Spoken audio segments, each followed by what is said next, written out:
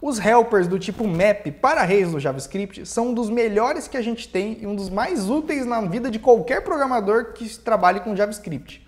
Então, nesse vídeo eu vou mostrar para que serve o map e como utilizar ele. Então, não se esqueça de se inscrever no canal, dar um joinha aí, curtir para fortalecer a gente, deixar um comentário com feedbacks, é muito legal.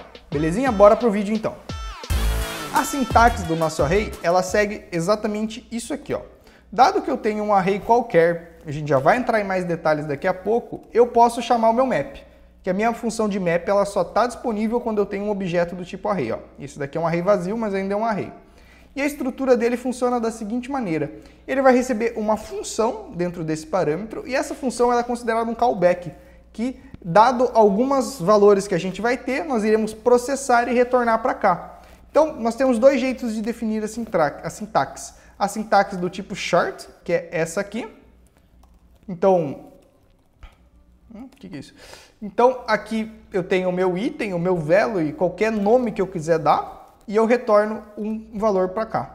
Essa daqui é a sintaxe básica do nosso do map. Então, eu passo uma função dentro aqui, e essa função ela vai nos retornar alguma coisa no futuro. É, esse daqui é o jeito do shortcut, nós escrevemos as funções, é comumente usado, mas você também pode fazer dessa maneira aqui. Eu não recomendo, mas é bom saber que isso daqui também é uma resposta válida para o nosso array. Ó, deixa eu só pôr um ponto e vírgula aqui. Então olha que legal, a gente pode escrever o nosso map assim com uma função pequena, né, uma short, ou escrever o nosso map assim com uma função um pouco maior. Tá? Essa é a sintaxe. Array.map recebe uma função, essa função tem parâmetros de itens, onde o primeiro parâmetro é o item, o segundo é o índice e o terceiro é o próprio array. E ela sempre, obrigatoriamente, tem que retornar um valor para a gente, tá bom? Agora a gente vai, já que a gente já viu a sintaxe, nós iremos entrar um pouco mais no detalhe e agora vamos aplicar tudo isso que a gente viu em arrays de verdade. Ah, uma coisa muito importante que a gente não pode esquecer. Todo array helper, no caso do map, ele retorna um valor. Ele não modifica o, o array atual que a gente tem, porque ele é, uma, ele é uma pegada funcional do JavaScript. Então, obrigatoriamente, todo map nosso ele tem que dar retorno em uma variável. Ou seja, a gente atribui esse map para uma outra variável e o array atual ele permanece inalterado. Belezinha?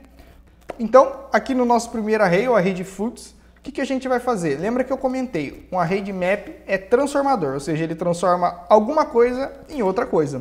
Basicamente é isso. Então eu posso manipular essas strings aqui para servir com as minhas necessidades.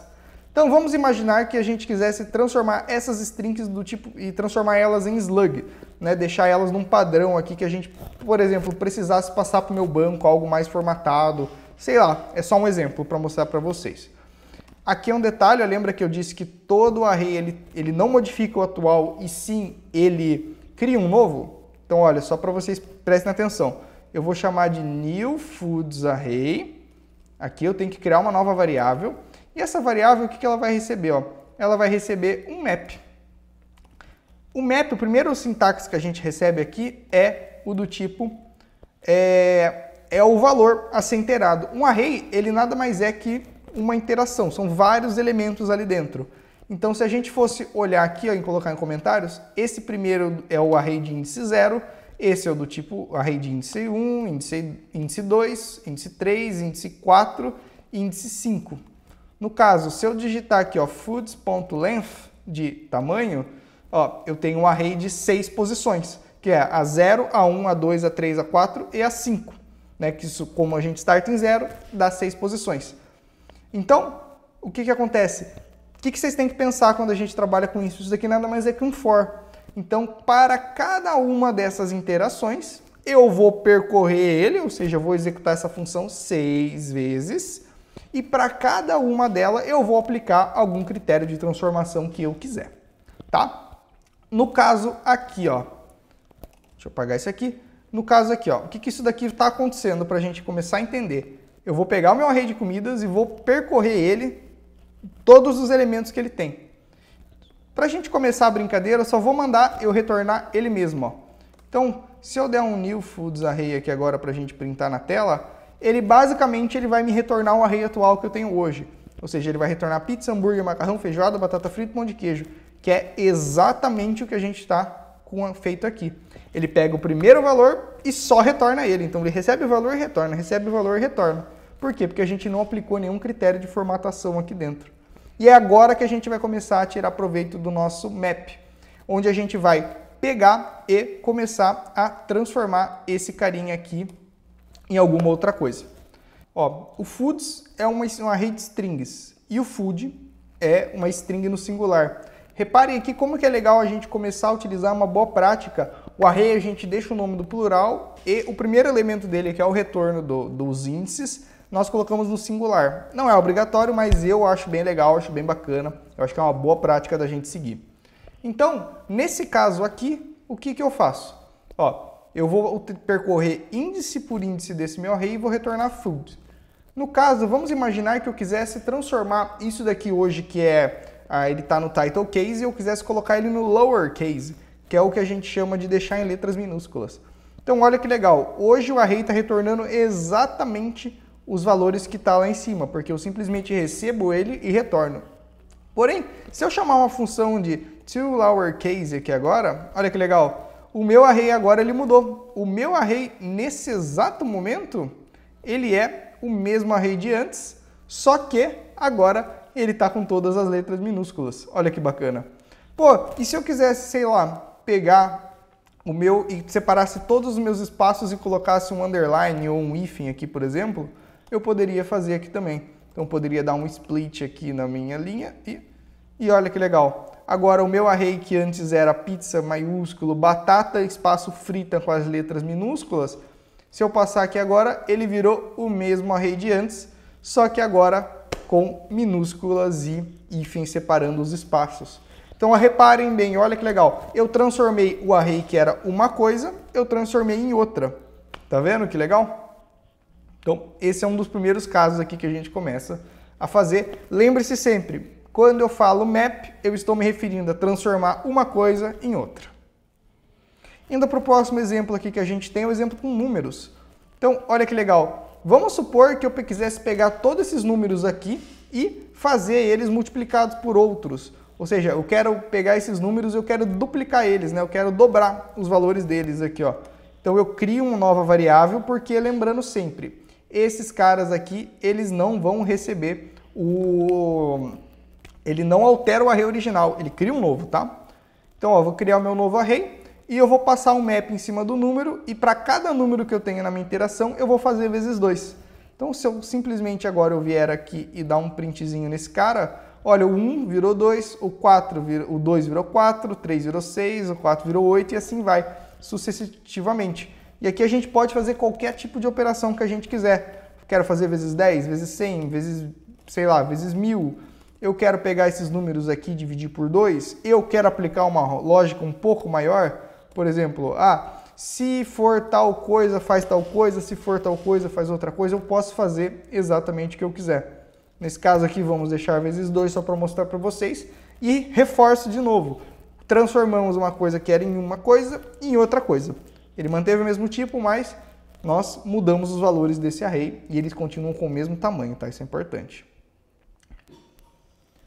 O próximo exemplo aqui para a gente descer um pouco o nível do nossa dos nossos arrays aqui é o com objetos, que é muito amplamente utilizado aqui, é o que a gente mais utiliza, é o map com objetos. É quando a gente quer transformar um objeto que tem alguma coisa em alguma outra coisa.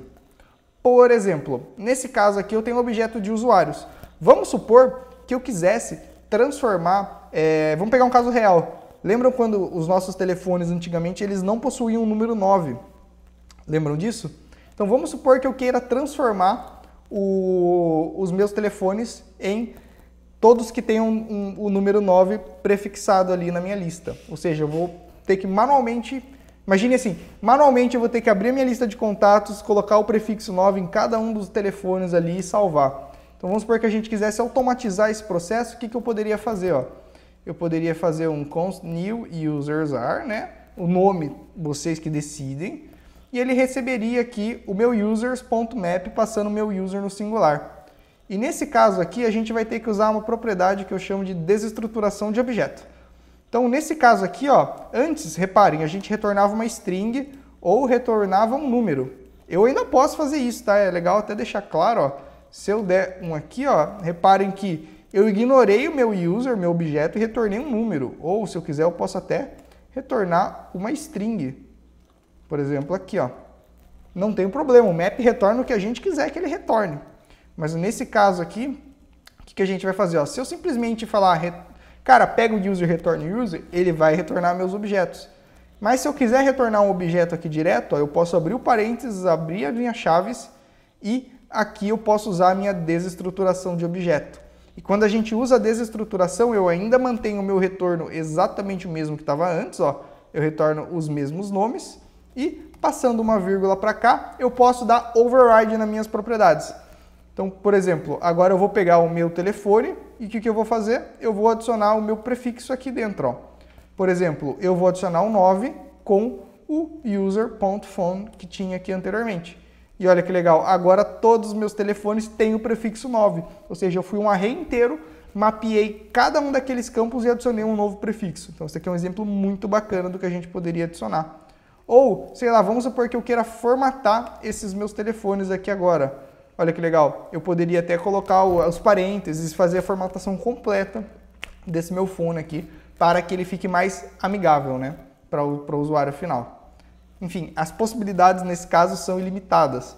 Ou, por exemplo, vamos supor um caso bem bacana aqui que a gente pode falar, que eu queira só pegar o nome de cada um desses, dessas pessoas. Ou seja, eu tenho um array grandão, esse é um caso bem bacana, é que a gente não envolve transformação, mas simplesmente selecionar dados para pegar um array novo.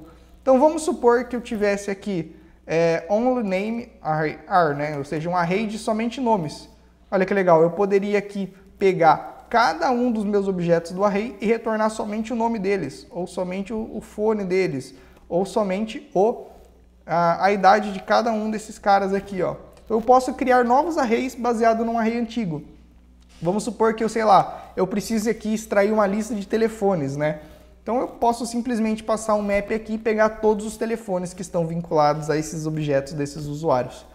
A criatividade para usar o map é o limite, ele é muito, muito, muito bom. É uma das melhores, se não a melhor helper que a gente tem. E depois vocês vão ver que a gente pode usar vários, né? Usar um filter, um map. Vão ter próximas aulas que a gente vai fazer isso, mas é, é legal que depois a gente vai começando a usar vários ao mesmo tempo ali, a gente gera um resultado muito bacana. E aqui eu acho legal a gente ter um exemplo real de uso para o map, que eu acho bem interessante aqui, que é um exemplo que acontece todos os dias, que é o exemplo de, às vezes, chamadas de API. Quando a gente desenvolve uma aplicação, nós temos um contrato de dados, nós temos os nossos objetos que a gente utiliza. Então, ó, para a gente simular um, uma, uma, coisa real aqui, ó. Vamos supor que eu tenho a, o meu usuário. E o meu usuário ele vai ter um nome, uma idade e um telefone. Tá? Só um caso aqui. E vamos supor que eu vou ter, eu vou ter que criar esse usuário numa interface de CRUD. De CRUD. Então, sei lá, vou criar aqui um user CRUD from backend. Ou seja, essa daqui vai ser a minha interface que eu vou ter que criar o meu usuário. E ela também vai ter um name do tipo string, uma age do tipo number e um phone do tipo string. Ou seja, as interfaces elas são iguais. Só que ao a gente fazer essa chamada para o back-end, essa requisição, o que, que vai acontecer? O, o meu back-end ele vai falar, viu, você está colocando aqui, ó, está colocando parênteses. Você não pode me enviar com parênteses. Eu preciso receber essa chamada só com números. Né? Não pode ter espaço, não pode ter parênteses, não pode ter if. Então a gente consegue criar com o map um carinha que ele faça essa seleção para a gente. Então aqui, eu vou até aproveitar esse array, ó, o new users are. Vamos colocar aqui. Ó. Então o my are, ele tem esse cara aqui, ó, certo? Com aqui. E o meu back-end, ele espera receber, ó, então, const backend request, que vai ser do tipo aqui, um array desse carinha aqui. Certo? Então, ele espera receber esse o, meus telefones, só que sem as formatações.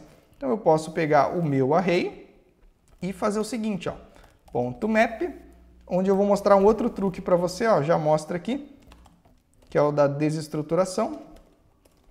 E abrindo aqui user.phone Nesse caso aqui, ó, como está muito grande a linha, eu vou jogar ele um para baixo aqui, ó. Fica melhor da gente enxergar.